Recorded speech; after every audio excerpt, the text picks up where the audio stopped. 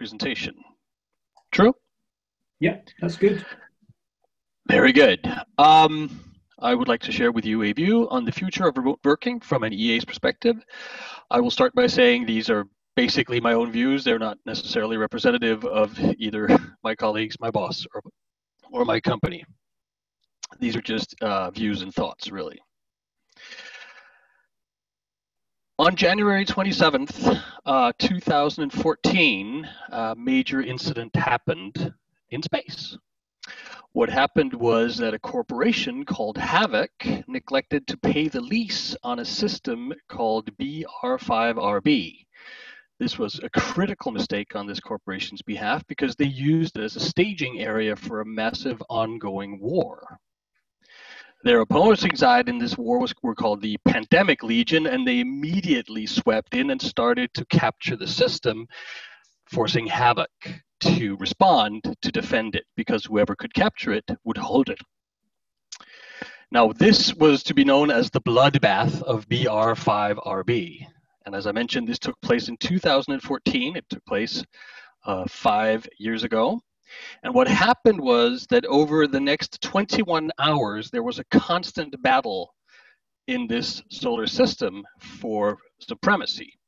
More than 7,000 real people were involved in this combat action. These 7,000 people were distributed among what are known as 717 different corporations. And there were more than 2,000 people simultaneously working towards a common goal on two sides. Now, all of this took place in a game called EVE Online. And just so you understand the scope of this, if you're not aware of what EVE Online is, uh, in EVE Online, you have assets, you have spaceships, and these spaceships have a real monetary value because you can use your real money to transfer into the game and use them to buy assets. But when an asset is destroyed, it is lost, it does not respawn. This means that the, the reason it is called a bloodbath is because the total financial cost of this was over $300,000 of actual converted money. So why start with this? Well, EVE Online is, as I mentioned, an online game which has existed since uh, about 2003, where they launched. They have about 35,000 to 65,000 concurrent users who perform tasks in space. Which tasks? Well, you create corporations that are very, very similar to real world businesses. Because when you create your character and you get into your first spaceship, you can decide whether you want to be a miner, a researcher, a manufacturer, a discoverer, or a pirate, or whatever. So when you create these corporations, you create them similar to real world organizational structures. You will have R&D departments, you will have manufacturing departments, etc., etc. You'll have strategies and goals as in the example above, the goal of maintaining a section of space, a supremacy over a section of space. Now, these people have never been physically present with each other. Well, to some extent, some of them do meet, uh, but they're they run their operations day to day basis, and they do this every day, and they have done this since 2003. They have basically done what we were forced to do in March so how did they do that? Well, let's take a look at how our corporations work, and I'll use the one I'm a part of as the first example. Novozymes is a biotech company. We uh, research and manufacture uh, enzymes for a variety of different purposes. I've given some examples here. We will manufacture enzymes to use in agricultural feed, to help in baking industry, to help in uh, laundry detergent, to improve uh, dirt removal or stain removal or removal of smells, as it were.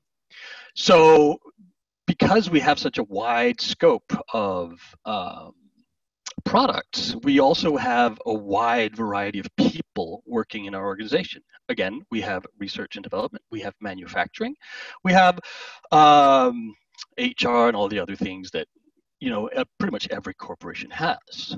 So we are in many ways similar to the example above of an, a virtual organization online. We're located in different locations. Novozymes has offices in uh, in China, in India, in the United States, in Denmark. Um, and since COVID 19, obviously, we have many, many, many different locations as we've all been working from home. Uh, the all, we're also, all of us, whether we're a corporation in real life or a virtual one, we're, we're we're subject to a common set of basic requirements. There are systems in place that we have to use in order to communicate. I cannot randomly choose what software to use to communicate with my colleagues because I have a set of requirements that I have to adhere to. But we also have the same overarching need for coordination and teamwork across organizational boundaries. And so within the team, but also within business units, uh, across to supporting functions and all those things. And then there are the differences that might not be so different post COVID 19. First of which is if you look at a computer game and you take a thousand people and say to them, Let work, let's work together, they will have very disparate setups. They will be set up differently, they'll have different tools, different needs. Whereas, corporately speaking, we would probably all have the same computer or the same mouse or whatever the case may be, we'll have the same software. And maybe we'll have varied needs. But post COVID, we do have that. There's a vast difference. I am standing right now at my you know my raised desk at home because I have a raised desk. Some of my colleagues probably don't have that. So we have different needs and we have different opportunities. So when we're working remote going forward, we have to solve two problems when we're looking at it. And the first of those is how do we solve remote working for the individual? Because if we the individual has suddenly taken a much greater uh, has become center stage for this, whereas before we would solve for the organization or the team, we're now having to solve for the individual as well as the team. But working from anywhere is not new. Um, I would venture a guess that everyone currently listening to this or is watching this has to some extent, experienced a mobile device that they use for work. Answering emails, sending emails, maybe checking on an IoT device or registering a certain incident uh, while um, at an offsite location, for perhaps, or a variety of other things. So we already work from anywhere, and mobile devices drove the first change to work really truly from anywhere. But can you imagine working only from your phone? I, I can't. I don't think I'd want to. Well, and then again, maybe I would, because what would it take for me to be able to do that? What would it actually require for me as uh, an enterprise architect to solve for in order to make that possible? And would that help? Those are the questions that we have to ask ourselves if we want to continue working from anywhere going forward. Now, working from anywhere has meant that the physical workspace is now, now a very fluid concept. We're no longer limited to having a defined physical environment in which uh, the team works or the, the individuals within the team work. Some of these situations are uh, semi-temporary uh, or semi-permanent, as it were. Some of us want to go back to work. Some of us may not want to. Some of us may have to. But how can we solve, as enterprise architects, the problems of the individual having different locations to work in? Now, the obvious example is that sometimes you need to create a very temporary solution. Um, this particular example is a cardboard desk that is made by a company called Stykka. Um, so this example is basically a, so a solution to a temporary problem. How can we work from anywhere if anywhere doesn't have a desk? As enterprise architects, we're probably more interested in other physical aspects, but this is a good example because you can solve this particular problem with a temporary cardboard desk, or you can solve it with an IKEA desk. They might cost the same, but the IKEA desk is more permanent. Which is right for you? Which is right for the individual? Which is right for the organization? The Stykka, though, shows how a company can also use a rapid disruption such as the COVID-19 uh, to, to innovate and create a change and meet a brand new market need. And the question that we have to ask ourselves can you implement cardboard desks if you need to? Does it make sense to do so? And this is my claim that EA, enterprise architecture, aims to be able to do that, to implement the cardboard desk, not literally, of course. Because when we're working from anywhere, what happens is, as I mentioned, I am at a standing desk. I have colleagues who are maybe forced to work from uh, the, the aforementioned bed with the ironing board on it. So the physical requirements are no longer necessarily dictated by corporate policy, but must be dictated by individual needs. Because different people have different needs. And this sounds maybe like something that you don't really want to get into. Why would we have to uh, give people such a variety of different uh, hardware? Would I have an employee who needs a high tech microphone and multiple monitors? Well, to an extent, we already do this. Um, we've all, we're probably all in organizations right now where we say, well, this is what you get when it comes to hardware and software, except because I will get this computer, I will get this mouse, except if I have an arm injury, then I can get a Mousetrapper. Or except if I have bad eyes, I can get a bigger monitor. Or except if I work in manufacturing, I can get a specific mobile device. So we already consider the individuals, but we need to do that more if we want to work from anywhere going forward. So the new credo should probably be well, you as the individual will be allowed to pick whatever works for you. And the way we can do that is to create a safe approved architecture within hardware and software and whatever other physical or, or uh, virtual uh, efforts that we're responsible for as EA, and then give options to people. And this is what EA has been asked to do and tasked to do by corporations, by the companies that we work in, since forever. So this is basically nothing new. It's just a changed scope. So how do we then solve remote working for the team? Well, as corporations or companies, we discovered that there were a lot of things that we were not able to do when COVID 19 hit. We had to scale up, we had to do a variety of different things. Um, an example of someone else who experienced this were schools schools were suddenly faced with a very specific set of problems that are also similar to the problems that we're facing. These problems were, well, how can we coordinate? We already have the schedule, the schedule doesn't change, but how can we coordinate things like group work or maybe homework or helping specific students, things like that? How do we communicate?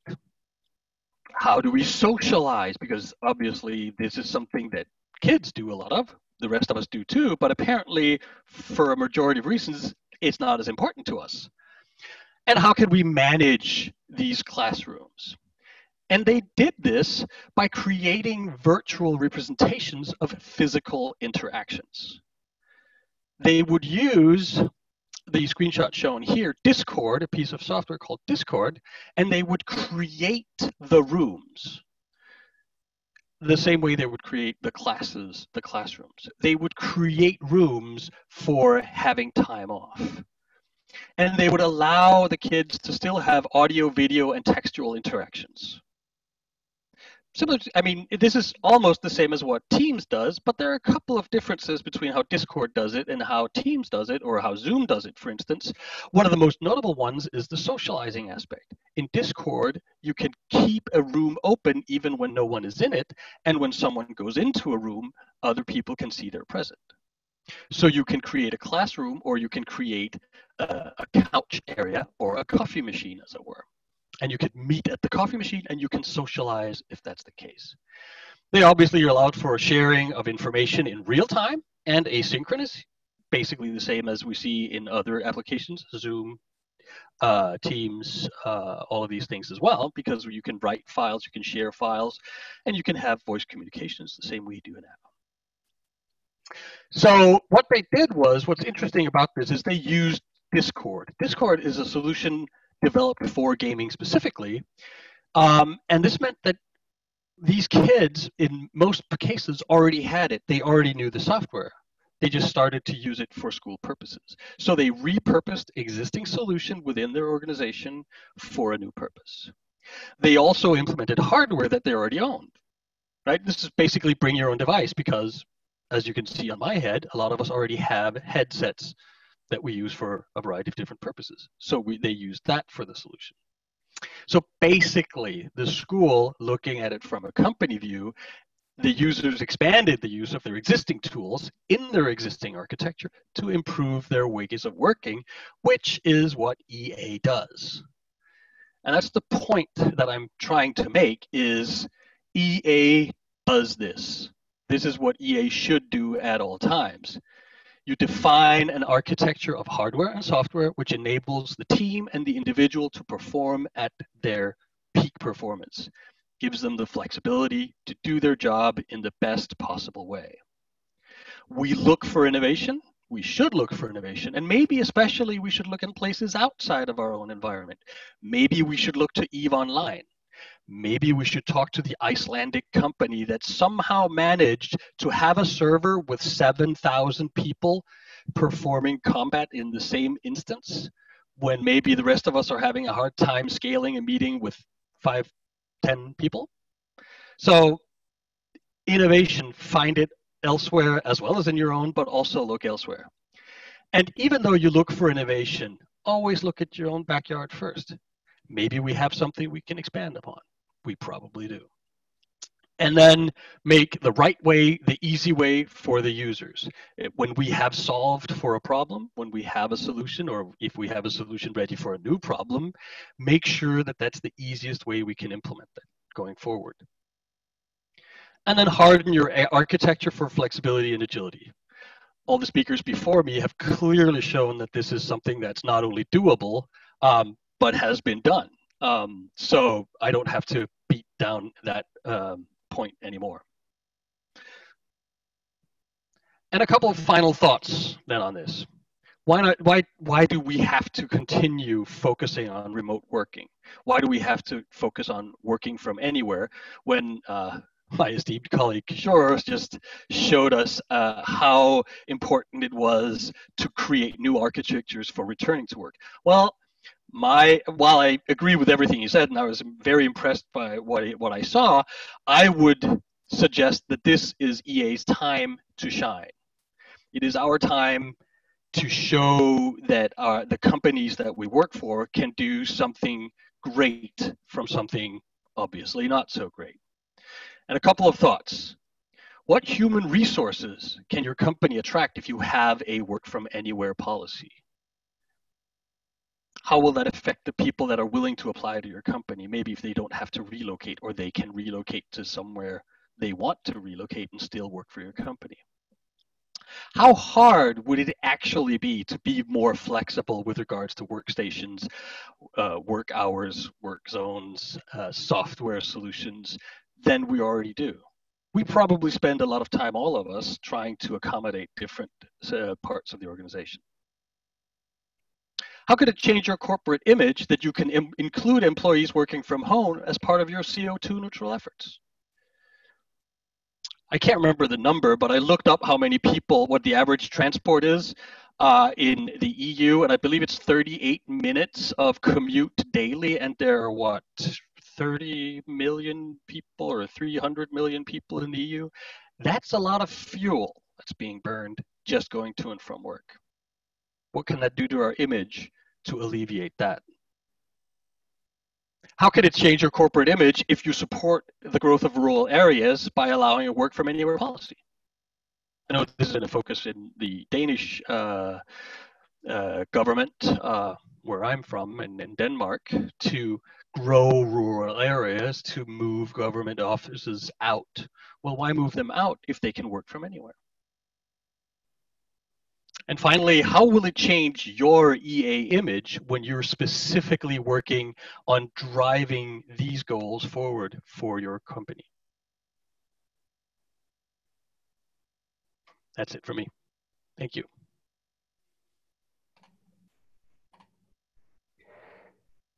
Thanks, Claus, and uh, great presentation. And we've had some uh, questions coming in uh, during the talk. So I'd like to uh, ask you the first question. Um, so EA is is seen in uh, my company, not not my company, but the uh, company of the questioner, as the uh, the philosophers, the thinking team, those those who take their time in analyzing, strategizing, uh, without real connection to to the real world. And um, what would what would be the biggest lesson learned from this whole situation uh, to to EAs everywhere, you know, regardless of of their industry? Uh, the biggest lesson learned to EA or to the business as a whole? Well, I'll answer both actually. Why the hell not? Um, the, the, the, I think the biz, biggest lesson to business is that EA and IT is not supplying hardware and supplying power to um, specific solutions. We're actually driving business results because the, the, the heightened awareness of digitalization as uh, an overarching component of business has been driven by EA and IT uh, in the past few months. So I think that's been the biggest um, let's say learning for both business and IT. We IT EA has seen that we can help drive business very directly, and business has seen us do it. Okay, thank you. Um, and you talked a lot about innovation and, and taking inspiration from uh, different areas and, and uh, from, from maybe unexpected areas and it, it's often a challenge to to harness innovation in in large organizations. And um, what are the, the biggest challenges uh, to really harness innovation and, and how can ea really help with with addressing that? Uh, you fill out a bit. You're saying what are the biggest challenges to harness innovation? Yes and, and, and how can uh, eas uh, help with that um, I think first and foremost, uh, EA needs to focus on or continue to focus on getting uh, the the uh, business to frame their requirements, their needs as a problem to be solved rather as a solution to be delivered. Um, because that allows EA to supply um, an innovative solution and look at that solution and offer that. I think I, I use this all the time, and everyone has seen this before. Uh, that is Henry Ford's famous quote If I had given the customer what the customer wanted, I would have given them a faster horse. And I think this is this continues to be true and maybe is even more true as we get more and more solutions to problems is if if business continues to say we would like an excel sheet to solve this problem then they will be given an Excel sheet. But if we can help them to phrase the question, we need to automate a specific process, then we can look at entirely new ways that they had not expected, and we can over we can overachieve on their requirements. So maybe to to elaborate uh, on that point, um, do, does that what what are the typical uh, you know tools of the trade uh, that, that enterprise architects can use to to drive those conversations? And also you know does it speak to a need for uh, increased uh, soft skills and, and communication skills? Uh, well the latter part definitely. I think i think um, at least something like 80% of being an enterprise architect is a question of being able to communicate, both listen and and speak uh, to all the different stakeholders that we have. Uh, tools of the trade, obviously, an EA tool like BiZZdesign, obviously, um, but I, I would say pretty much any enterprise tool that allows you to visualize and connect the different elements of the business is probably the most difficult thing to build. I think everyone here who's who's a panelist today, and probably some of the people uh, watching, will agree that um, the tool is not the solution. And it's very difficult to get the data into the tool. But once you have that, when you hit, let's call it critical mass of information and starts delivering to business uh, information or view and insight and wisdom that they did not see beforehand, and you can deliver that, uh, let's say, um, uh, I was about to say unprovoked, without having asked for it, and say, look, guys, this is what this is going to be your problem six months down the road. That's when we really deliver as EA. Thank you. Um, so another question we have coming in, um, what are the key uh, technology or adoption challenges in, in, in using these you know, new cutting edge, edge solutions? Is it you know, primarily the security aspects, the training aspects, you know, people aspects? I, I would say primarily security. Um, I think security drives pretty much everything when it comes to new technology and i think it should. I think unfortunately the humans being humans uh, we will always have enormous threats and, and they just keep growing. So security is probably the main one. Um, second one uh, i would say training but i would like to say that that should be the last one because that comes back to i believe that we should select tools that allow us to use them in such a way that they're easy to adopt. And if we use, like I said as part of my, my talk, if we use an existing tool in new ways, we don't have to teach. We don't have to show new ways of doing it. It, it will come automatically. People will understand it, right? So, which is why some things, it's like that is the reason Excel is used for everything, including as an EA tool, because everyone understands Excel. Everyone knows what the buttons do. Everyone can do a calculation in Excel. And that's why people say, well, it's the best tool for everything, which it isn't, but it's understandable why they do that. Okay, great. Well, thanks, Claus. And with that, um, we're going to move to a 15 minute break.